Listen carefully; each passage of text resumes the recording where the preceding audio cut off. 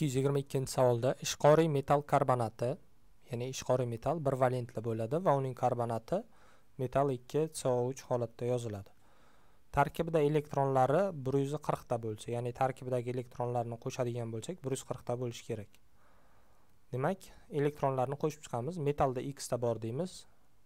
Uglerodda oltita kislorodda sakkizta. X ni ikkiga ko'paytiramiz. Ikki x. Qo'shamiz oltin gugurtda oltita. Qo'shamiz kislorodda sakkiz karra uch yigirma to'rtta. O'zi aslida sakkizta bo'lmaydi atom holatda olyapman chunki ion holatda ham qo'shsak jami shu bo'ladi atom holatda qo'shsak ham jami bir yuz qirq kelib chiqadi. Shu sababdan shunday olyapman.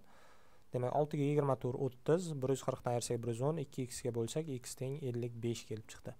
Demak elektronlarni aytgandek qo'shdim bir yuz qirq bo'ldi x ellik besh. Ya'ni tartib raqami ellik besh bo'lgan ishqoriy metal kelib chiqdi. Demak tartib raqami ellik besh bo'lgani bu sezi ekan.